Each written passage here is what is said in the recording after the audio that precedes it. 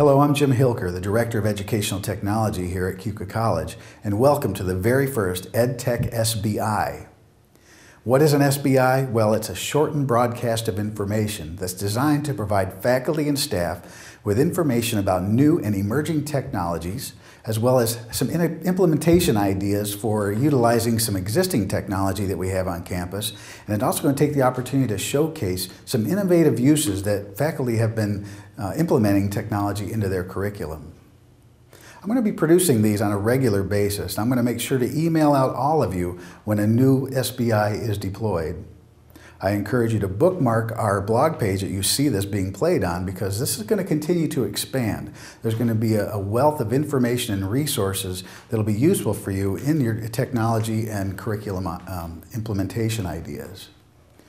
Please give me a call if you have any questions or you need assistance in integrating any technology into your curriculum, or perhaps you have an idea or a topic for an upcoming SBI. I would love to hear about it. Can't wait to hear from you, and thanks for watching.